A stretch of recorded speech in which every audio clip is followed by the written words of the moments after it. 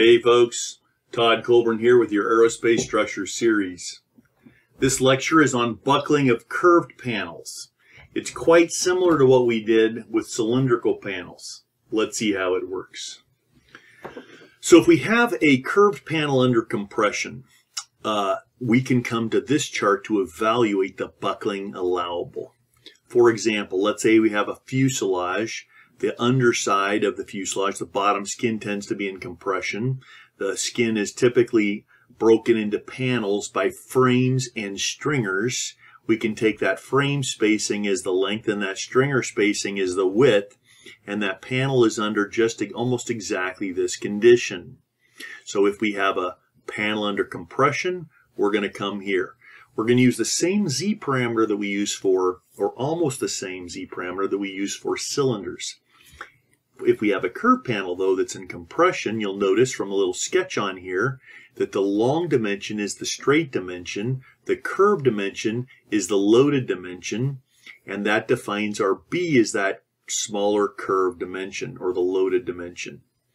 We're going to plug in that B into this formula for Z.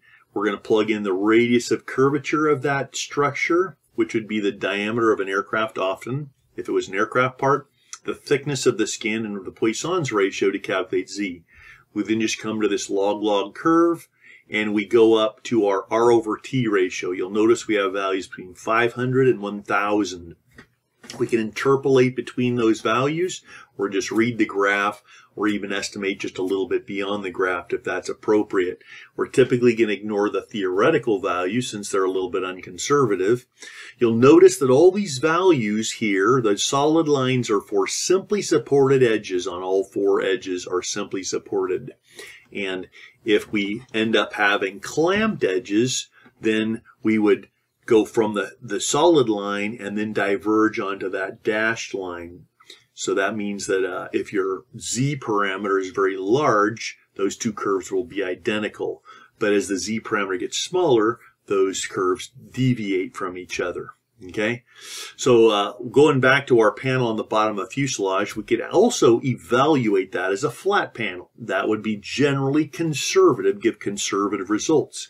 If we want a little better estimation of what it actually does, we'd use this curve panel, curve panel approach, get Z, calculate, go to the R over T, calculate our K sub C, plug it into this formula. Now let's say we have a curved panel loaded in shear. If we have a curved panel loaded in shear, we need to differentiate between whether the panel is wide or long. Now these, to your definition of wide and long, is probably different than the my definition, and we're probably both different than the original researchers. But what's important is that we wrap our mind around the way this was defined and how these formulas are used. That means a long panel is defined as one that has the uh, longer edge is the straight one, and a uh, and so if we notice that our long dimension is straight, we're going to call that a long panel. You'll notice also that this curve is for simply supported edges. If we have simply supported edges, this is valid. If they're clamped edges, we're going to find a different curve, so stand by for that. So if we have simply supported edges, and that's usually how we will idealize these, if we go back to that panel on the bottom of, of the fuselage, remember we're uh, that panel is broken into smaller pieces by the frames. The frames often don't touch the skin, but they'll be attached to shear ties that touch the skin between the stringers, and those provide a decent support, but not a lot of rotational stiffness. So usually a uh, simple support is sufficient. Also, those panels are often riveted to stringers on either side. The stringers are thin-walled members, hat sections or Z sections, usually with a really low torsional stiffness. Hence, the simple support is the best idealization for most structures we're going to find in, in aircraft kind of analysis. However, if you run into a case where you have a big old uh, shear tie of the frame that's maybe a big T section with rather thick flanges, or maybe there's doublers, or maybe there's a bulkhead that ties in, or maybe your stringer is a big old fat section that has uh, maybe a closed section that has some torsional rigidity, or it's attached to a bulkhead with vertical members that provides torsional rigidity, then you might say, nah, this is clamped, this is not simple, and then it's appropriate to use the clamp condition with the curve we'll show in a bit. So if we have simple supports though, we're going to use this curve. We're going to calculate our Z, uh, go up to our A over B ratio this time, and then slide over to get our K sub S. We plug it into this formula, which gives us the allowable stress value. And if you only have this one shear on the panel, then you can write your margin of safety directly. The shear stress allowable divided by the shear stress on the panel minus one. Now, if we have combined loads, for example, that axial load and shear, then we're going to need to use an interaction equation, and we'll deal with that after we're done giving you all the pieces of analysis that you need to do that. So stay tuned for that. So if our panel is not long but wide, what that means now is the long dimension is curved, as you can see here. Then we're going to classify that as a wide panel. Once again, we're talking simply supported edges. We calculate our Z, go up to the A over B ratio, slide over, and you can, this curve is also cool because it shows you not only the A over B ratio, but the curve that kind of aligns with a cylinder. So it should give similar to a cylinder kind of results if your A, if your uh, A over B ratio is large enough. So we come up with our Z, take the A over B ratio over to the side, we get our K sub S, plug in here, and that gives us the allowable stress if we have shear on that panel by itself. This is a curved long panel and shear with clamped edges. Once again, this is identical to two curves ago, but now we have clamped edges. We calculate Z, go to A over B, calculate K sub S, plug into the same exact formula. And for wide edges, if that long dimension is curved, we come here, Z, A over B, K sub S, plug and chug, write the margin of safety if it's the only load. So far, so good. So we know how to evaluate curved panels in compression and in shear for both simply supported and clamped edges. This little curve uh, we uh, is for uh, spheres under external pressure. So if we and we so if we have a sphere and it's loaded with external pressure, like a lot of tanks, dirigibles, and other things like that, then we can use this curve to estimate the crush pressure. So what we're talking about here is crush pressure. So radial pressure acting inward on this spherical structure. Now this curve is a little tricky to read because D is not necessarily the diameter of this sphere. If if we want the crush pressure on a sphere, the entire thing being crushed, then we will plug in the diameter uh, there we're going to have the D now will be twice the radius, right? That radius is the radius of curvature. The D is the distance between supports. And if we have a full sphere, then that D will be two times R. So that's how we can evaluate that. So we're going to come here. We're going to calculate the Z as the D over RT. So if we have a full radius, if we are looking for crush on a full sphere, then D is actually twice the radius. We plug that in to get our Z with the R and the T, right? We get the R on the bottom as well. We come up to our R over T ratio, do the best to interpolate between the two values, uh, not the theoretical line, but the two R over T values. And then we read the K, which I'm calling K sub P, that pressure coefficient.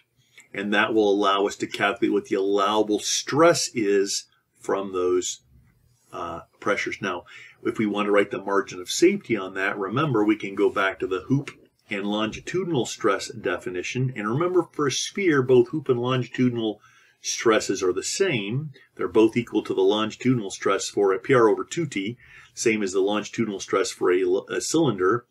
And we would then, we could then calculate if the stress is PR over 2T, you can actually take this allowable and convert and, and calculate the pressure, the critical pressure from that. As we showed last lecture in our cylindrical, uh, in the same way that we did that for cylinders last lecture. We're actually going to show that a little bit further in a few minutes, so stay tuned if that's not clear to you. Regardless, this is how we get the allowable uh, stress in the in the sphere based on external radial pressure. Now, if we have burst pressure, burst pressure will never buckle the thing. It will rip the thing apart. So we're not going to evaluate buckling for a burst pressure. Unless we actually end up having combined loads. And in that case, that burst pressure has a stabilizing effect. And we will calculate our stress ratios as a negative value. We talked about that last lecture, and we'll talk about it again uh, in a few minutes. You okay, little pup? Okay, that was for uh, a sphere with radial pressure. This is for a cylinder with radial pressure. Now, remember we covered this last lecture because this is for a cylinder. However, if we have a curved panel under radial, external radial pressure, it will behave in the same manner, or at least we're going to evaluate it in the same manner as we did for a cylinder. Therefore, I put the curve here as well. This is the same exact curve. So if we have a curved panel in, in uh, ex external radial crush pressure, we will come here, calculate our L squared over RT, square root of 1 minus Poisson's ratio to get our Z, slide on up to the R over T ratio that's appropriate, calculate our K sub P, plug into this equation, calculate the allowable stress. We then, I gave you, in this case, I give you the, the equation from straight from the hoop stress equation of the critical buckling allowable pressure based on that allowable stress. So you can plug into the second equation here to calculate what the critical pressure is. You can either write your margin of safety on a stress basis or a pressure basis with identical results. If we have external hydrostatic pressure, now hydrostatic pressure is usually associated with water because water causes a increase in pressure as you get more depth. But actually this case goes beyond that. Anytime you have something that can be approximated as a linear increase of pressure across the panel or the, the curved panel, you can idealize that as a hydrostatic pressure and use this curve. We calculate the Z, go to the R over T, calculate KP, calculate the allowable stress, critical stress, and then use the second equation to calculate the corresponding critical pressure, and you can write the margin of safety either on a stress basis or on a pressure basis. Got it? So as I've been promising, if we have combined loads, we're going to use these interaction curves. Some of them are similar to what we saw for cylinders. But we want to make sure we come here so we're using the correct equations. If we have axial load and shear, this is the uh, interaction equation, and we do have a closed form margin of safety equation for that. We can just plug and chug in this equation. If we have axial compression with internal crush pressure, then this is true. This is based on that RP is the compressive stress over the compressive allowable stress, or the crush pressure, the actual pressure over the allowable crush pressure. Both of those terms are negative. Hence, uh, this will give us the margin of safety. And if we have a crush pressure uh, with axial compression, it's going to make buckling worse.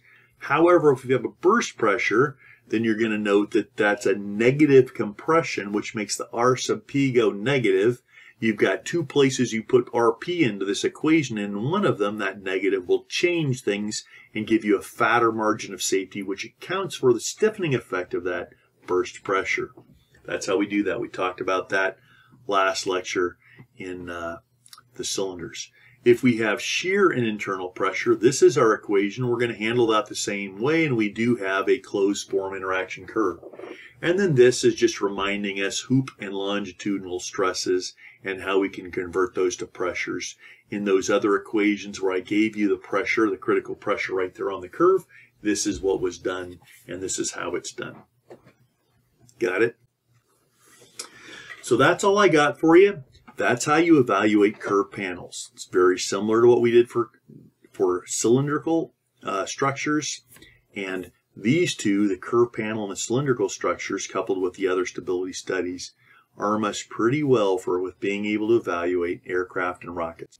Hope you find this helpful. If you do, punch the like button. If you got any comments, punch that out for me. I'll do my best to respond.